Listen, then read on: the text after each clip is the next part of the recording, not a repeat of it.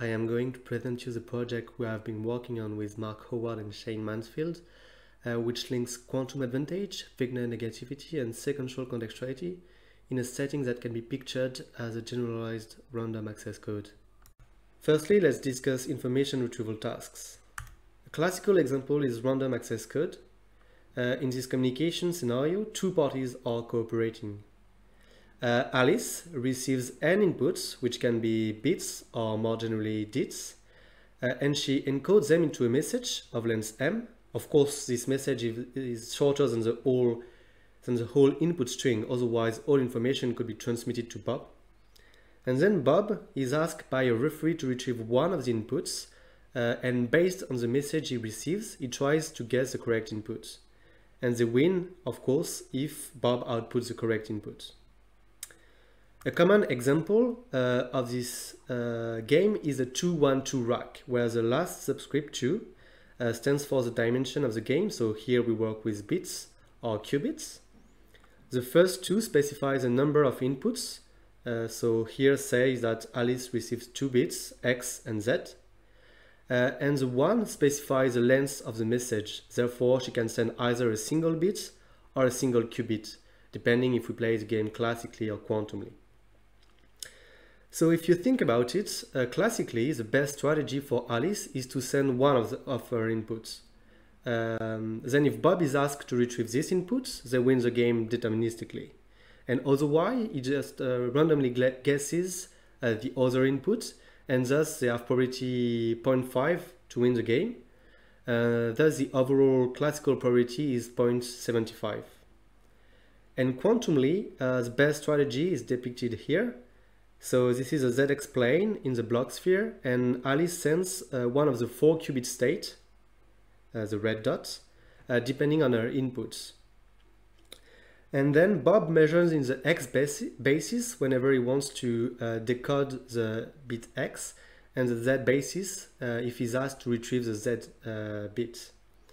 and the overall quantum probability of winning is then uh, 85 approximately, which is strictly larger than uh, the classical uh, winning probability. And thus we witness that we have a quantum advantage if we are allowed to send a qubit rather than a dit. Uh, more generally uh, than random access code, um, we can define information retrieval tasks uh, in a communication scenario where uh, the number of inputs is given, it's n. The length of the message is also specified, m, and uh, also the dimension is fixed uh, d. Um, and then we define an information retrieval tasks by specifying a tuple. Uh, Q is a finite set of questions and WQ is uh, the winning relations.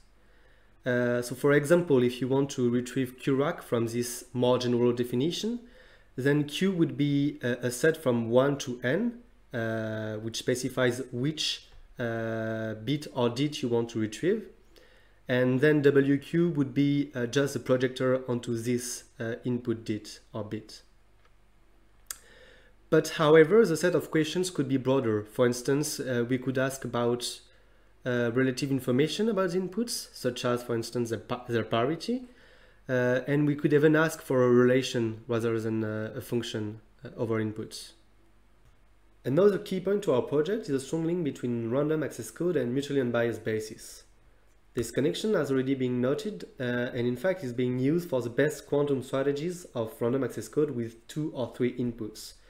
Uh, in both cases, you use MUBs as measurements. However, we can already note that in prime power dimension D, uh, there are D plus 1 MUBs, uh, and for instance, for the three input case, uh, only three MUBs are being used and not four. So maybe there is room for an extra equation. In another paper from Casaccino, uh, MUBs were already used uh, to construct uh, a QDIT version of uh, quantum random access code. Uh, and in fact, MUBs have a neat geometric interpretation in affine plane. So for instance, in dimension 3, it's just like a toric 3x3 plane where the top is glued to the bottom and the right to the left. Uh, and the four MUBs are actually the four types of lines that you can draw here. So for instance, you have line, columns, and you have two types of diagonal. Um, and for each type of line, you actually have three lines, right? So here you have three columns, you also have three different lines, and this corresponds exactly to the number of outputs in one MUB in dimension 3. Let's dive into the torpedo game. The torpedo game is an information retrieval task in which Alice is given two input DITs, X and Z by a referee. She then sends a single message, uh, which can be a DIT or a QDIT to Bob, and Bob is asked one out of D plus 1 questions that are labeled infinity, 0, 1, etc, etc. The reason will hopefully become clear shortly. The last missing ingredient to specify fully uh, an information retrieval task are the winning relations that I will give shortly. But first, we can ask why the name, why the torpedo game? Well, you can picture this game as, uh, as the following. So Alice and Bob are all disco dancing buddies who find themselves on opposite sides in the naval battle. But they wish to subvert the conflict and avoid casualties, they are pacifists. Um, and let's, fi let's fix the dimension to 3 for, for now. So uh, imagine the following. So Alice commander gives her a position uh, of the boat in this grid, so in, a, in this 3 by 3 grid. So it's a position XZ. Then Alice communicates to Bob only one qutrit or trit to avoid giving away her exact position if the message is intercepted. Then Bob is outside of the grid in a boat and his commander gives him a direction, a direction to shoot in. So he can say, for instance, shoot along a line or shoot along a column. Uh, and then Bob has the freedom to choose which line or which column, which line he shoots in. Uh, and so Bob tries to pick a line to avoid uh, hitting Alice. Uh, and so that's why you have these winning relations defined with not defined with nuts rather than a definite DIT value. Uh, it's because you want to avoid Alice. You, you want to avoid hitting her. Uh, and so they win the game if Alice is paired. So if he managed to answer the, the line, uh, Alice is not in.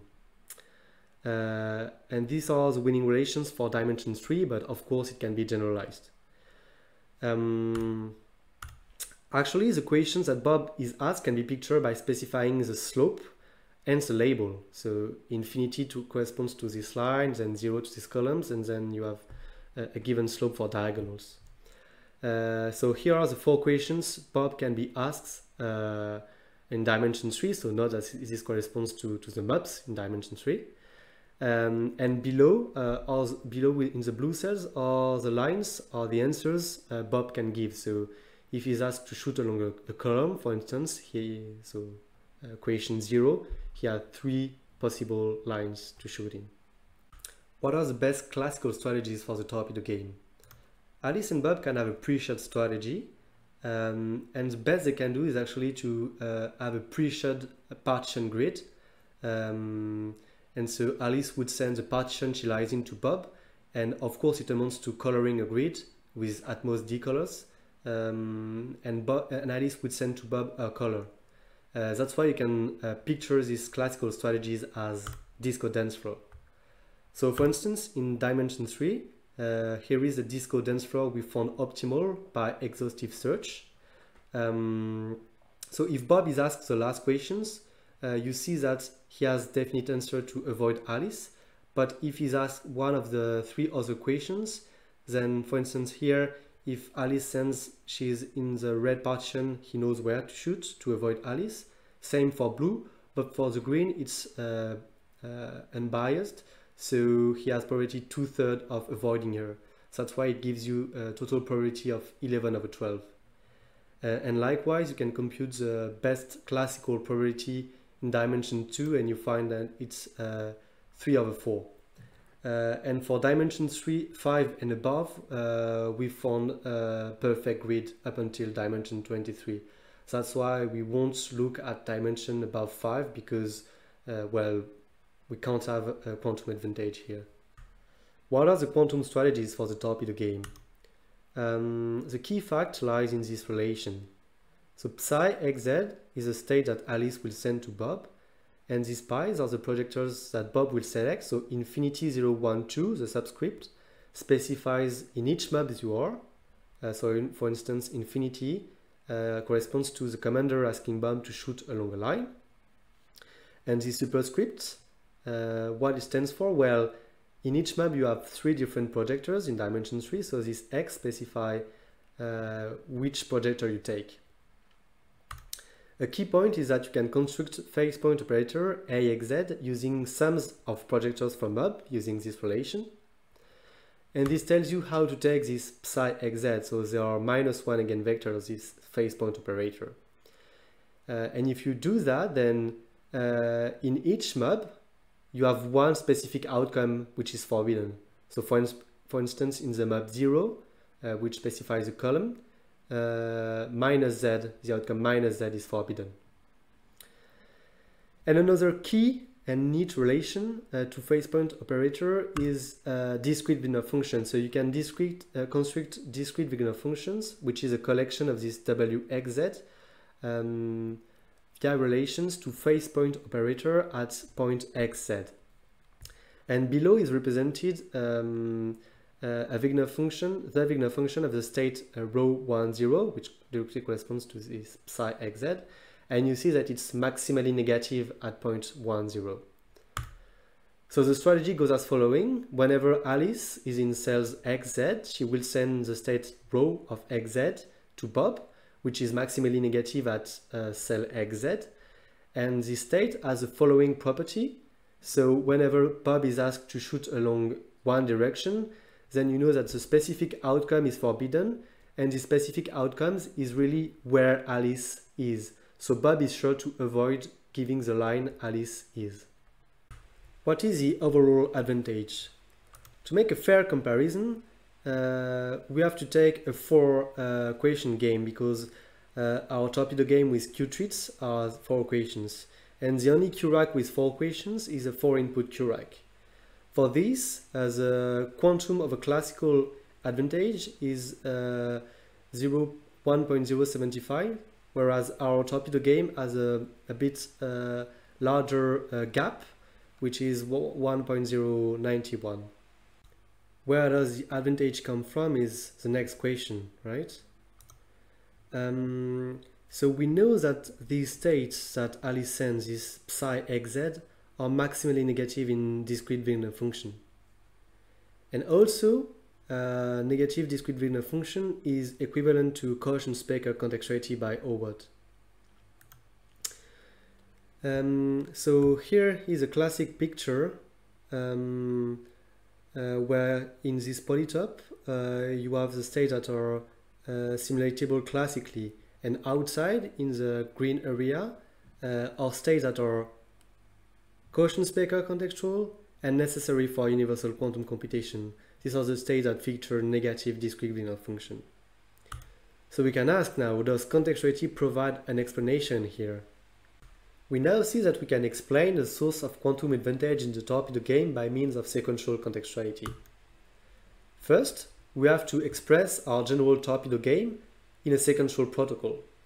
In this sequential protocol, you have a fixed preparation followed by two control rotations. So these uh, rotations are controlled by the input dates. And the measurement is a fixed measurement preceded by a transformation controlled by the, by the equation label. And this is strictly equivalent to the general torpedo game. The next question is can we explain uh, what happens in the torpedo game uh, with a memory restricted hidden variable model. Why memory restricted? It's because this message we have in the middle uh, cannot be of full dimension. Uh, it is necessarily uh, smaller than the number of inputs. And so in a way, you have to restrict your memory here. Uh, that's why you have to explain classically what happens with a memory restricted hidden variable model. So empirically, what happens uh, is that you have uh, E, which is a, a, collection of probability distribution um, one probability distribution for each input string equation over the output set ZD. So a context in this setting uh, is labeled by an input string and equation. And so we model uh, uh, our HVM by what? By a preparation, which is a probability vector in R3, followed by three rotations, which will be modeled by left stochastic matrices uh, why left stochastic matrices? It's because uh, we want to preserve probability distributions um, via, via transformations. And the measurement is just a projection onto basis vectors. And we want, we want to see, can we explain the empirical behaviors by this hidden uh, variable model which has a memory restricted uh, hypothesis. What do we mean by sequential non-contextuality? We'll say that a hidden variable model is sequentially non-contextual if it preserves two points. First, you want that in all sequences, whenever you have a transformation that occur, you want this to have the same uh, representation in the hidden at the hidden variable level. Uh, and also, uh, you want your mo model to preserve sequential composition. So whenever you have a, uh, a composition of uh, transformations that occur in uh, different contexts, you want these to be respected at the level of uh, hidden variable models. And you will say that your empirical behavior is sequentially contextual if it's not realizable by any sequential non-contextual hidden variable model. Um, what's nice is that you can quantify this contextuality with linear programming. So um, given an empirical model, you will try to decompose it to do a convex decomposition with a, a non-contextual uh, empirical model and something else. And you will try to optimize to put uh, more, the more weight possible on the non-contextual parts and what's left over is necessarily uh, contextual. So you will maximize over the weight omega, over the weight of your non-contextual parts. And what will be left here is your contextuality. And you can quantify contextuality that way. Now we are ready to state uh, the results we have in the torpedo game. So first, if, we want, if you want to win the torpedo game in dimension 2 and 3 deterministically, then you need to be strong sequentially contextual. So you need to have a contextual fraction of 1. And also, um, in the torpedo game or more generally in any information retrieval tasks which you can express in sequential uh, in a sequential communication scenario, um, you will have this inequality. So this inequality link epsilon, which is the probability of failure uh, of your game, the non-contextual fraction, and uh, nu, which measures the hardness of the task. So you see here that it's 1 minus the best classical uh, probability. Um, and so, for instance, uh, if you want uh, your probability of failure to be above this threshold of nu, then you can be classical. You can have a, a contextual fraction uh, of zero. But whenever you want to fall under this value, then you necessarily need to have some kind of contextuality. To conclude, um, we've developed a framework for information retrieval tasks in communication scenarios. Um, random access coding is an example, but we've introduced another game, uh, which is a torpedo game, uh, a pacifist alternative to Battleship. Uh, we've seen that uh, we have a quantum advantage for dimension 2 and 3 in our game, and this uh, quantum advantage exploits maximal Wigner negativity. Um, and also the last point is that uh, sequential contextuality quantifies this uh, quantum advantage. Thank you for your attention.